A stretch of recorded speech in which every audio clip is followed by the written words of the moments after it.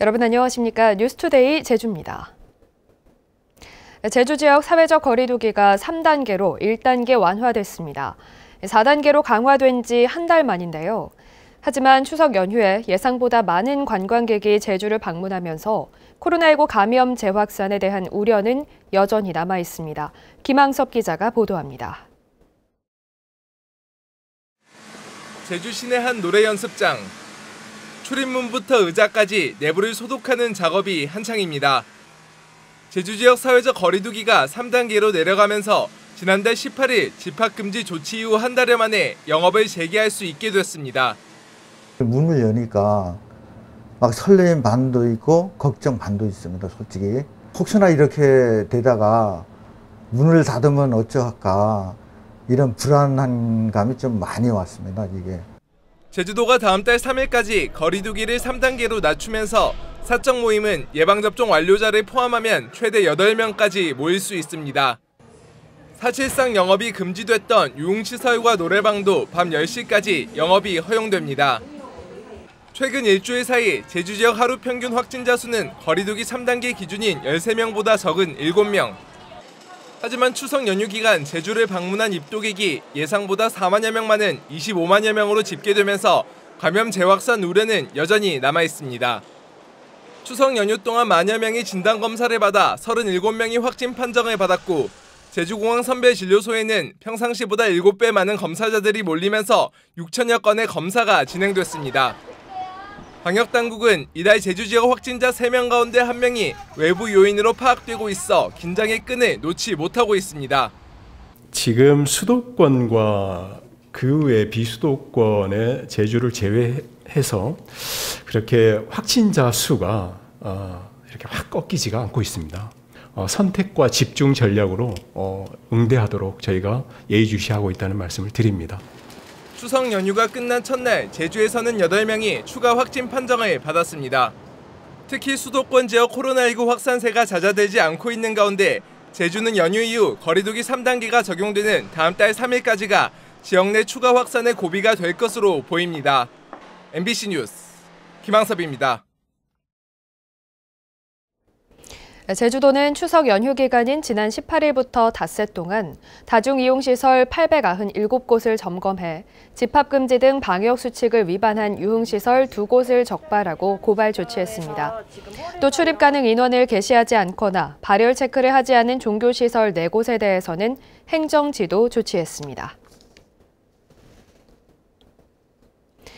제주 제2공항 건설 사업은 지난 7월 환경부의 전략환경 영향평가 반려 결정으로 제동이 걸린 상태인데요. 국토교통부가 이 반려 사유를 보완할 수 있느냐 없느냐를 조사해 제2공항을 중단할지 재추진할지 판단할 연구 용역을 검토 중인 것으로 확인됐습니다. 송원일 기자가 보도합니다.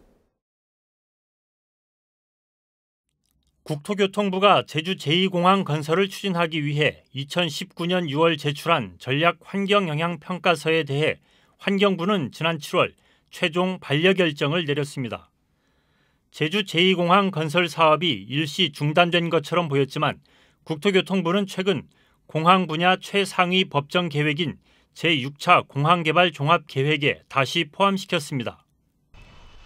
내년 대선과 지방선거를 앞두고 민감한 현안인 제주 제2공항 문제를 놓고 해법을 찾으려는 정부 여당의 고민이 커지고 있는 상황. 지난주 제주를 방문한 이낙연 더불어민주당 대선 경선 후보는 제주 제2공항 문제와 관련해 국토교통부가 7개월 정도 시한을 정해 용역을 진행하고 있다고 밝혔습니다. 제주도민 여론조사 결과도 있었습니다만은 판단하기가 아주 어려운 결과로 나왔습니다.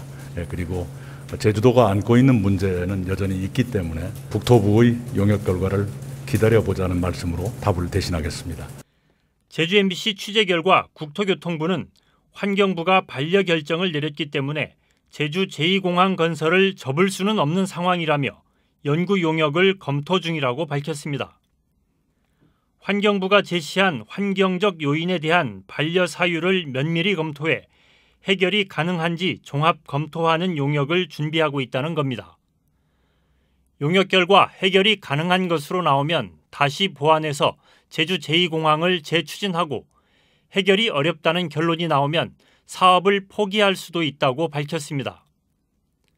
국토교통부는 연구 용역에 어떤 문제를 포함시킬지 용역 범위와 용역 수행 기간을 검토해서 결정한 뒤 조만간 발표할 계획입니다.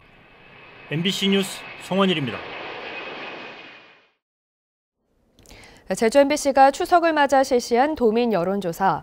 오늘은 마지막 순서로 제주 주요 현안으로 떠오른 비자림로 확장 공사와 트램 도입에 관한 결과를 전해드립니다.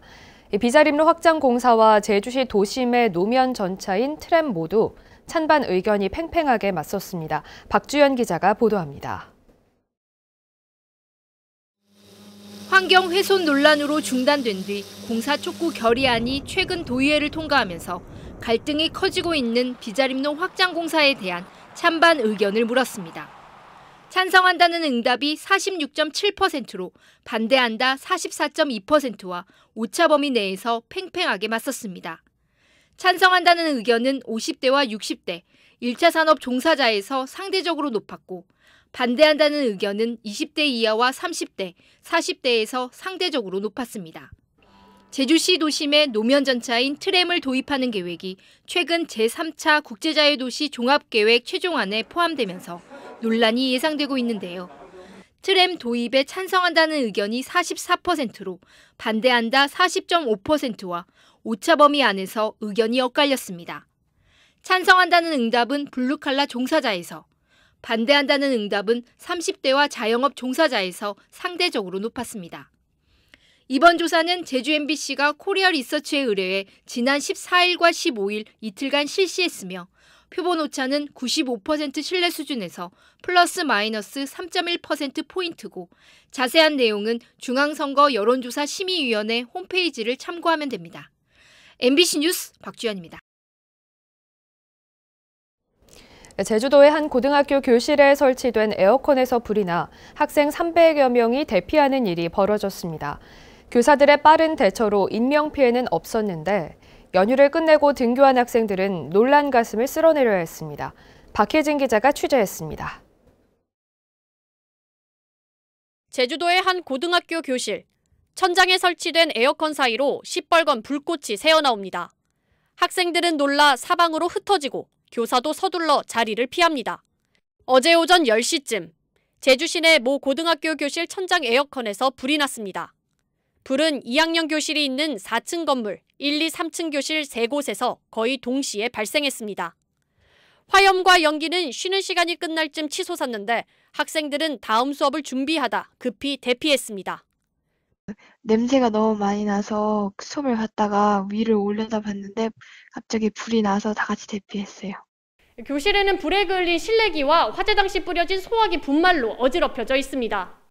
불이 나자 교사들은 해당 건물에 있던 학생들을 모두 밖으로 대피시키고 소화기로 불을 껐습니다. 펑 하는 소리가 났다라고 해서 어, 여기 에어컨에 불이 났습니다. 그래서 불이 났기 때문에 어, 소화기를 찾아서 불을 끄면서 옆에 계신 선생님들 통해서 전체 학생 다 대피하도록 그렇게 지도를 했습니다. 학교 측은 불이 난 건물을 사용하는 2학년 학생 330여 명을 오전 중 모두 귀가시켰습니다. 학교 건물 옥상에서는 불이 난 에어컨과 연결된 실외기 일부가 검게 그을린 채 발견됐습니다. 소방당국은 연휴 기간 동안 낙뢰 등을 맞아 손상된 실외기가 다시 가동되면서 과전류가 흘러 불이 난 것으로 보고 정확한 화재 원인을 조사하고 있습니다. MBC 뉴스 박혜진입니다.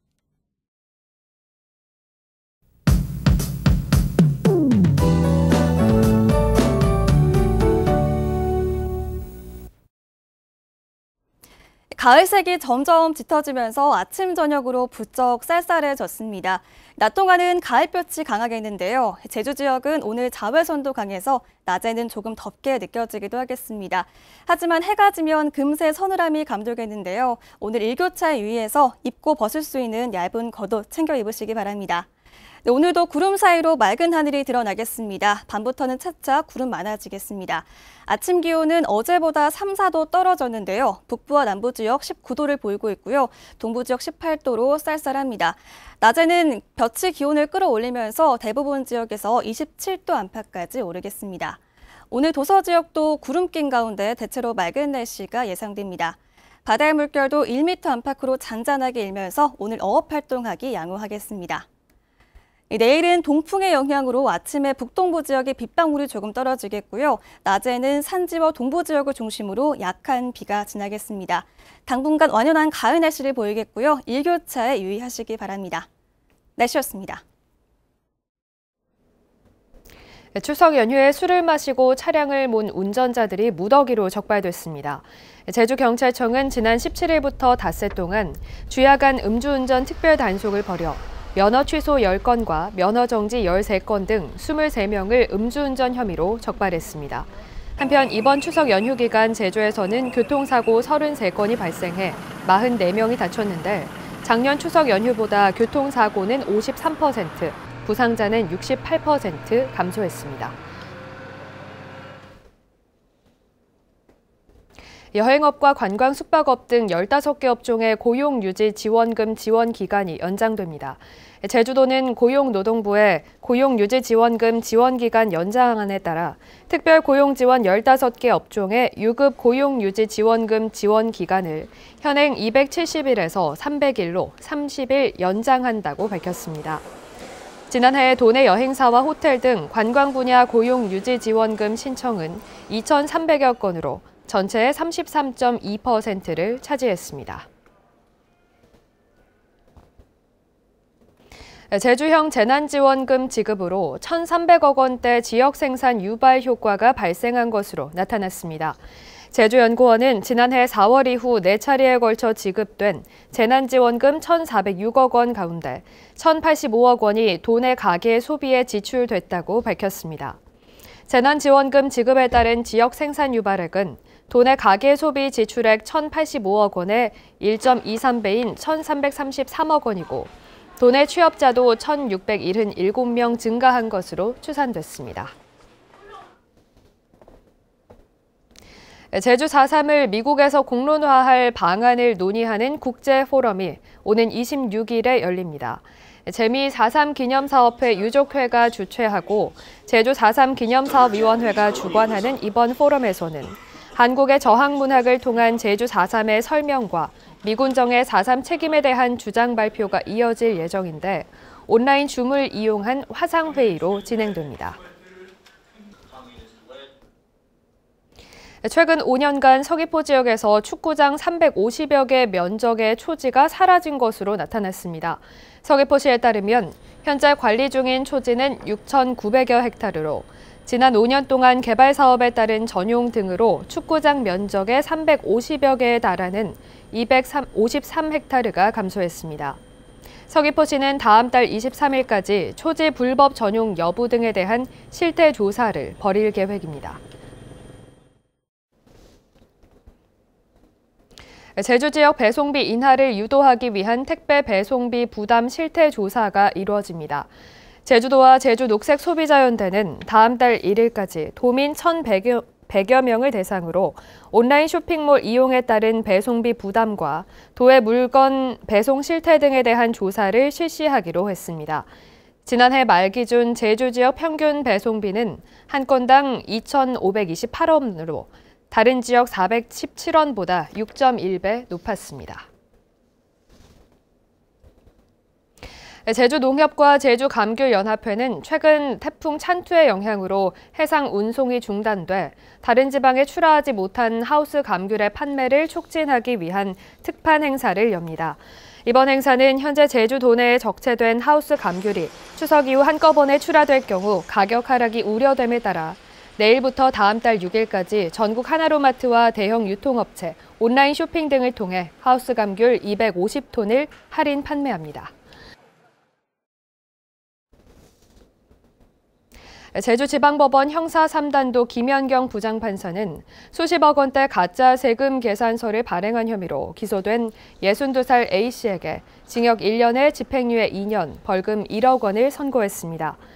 A씨는 지난 2014년 도로건설 자재 운송 사업체를 운영하며 거래 은행 지점의 이용 실적을 높일 목적으로 19억여 원의 가짜 세금 계산서를 발급한 혐의로 재판에 넘겨졌습니다.